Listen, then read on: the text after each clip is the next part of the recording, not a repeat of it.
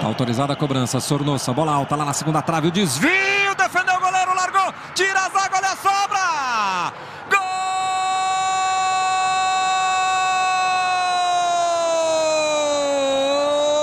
Gol do Corinthians!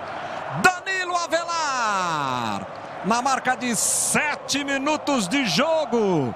Na primeira bola que o Corinthians conseguiu levar para o ataque. O toque de cabeça do Gustavo.